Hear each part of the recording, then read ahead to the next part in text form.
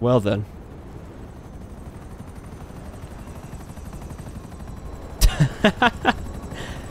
ah, I will just take that. Then just, uh... No, don't shoot me. Stop it.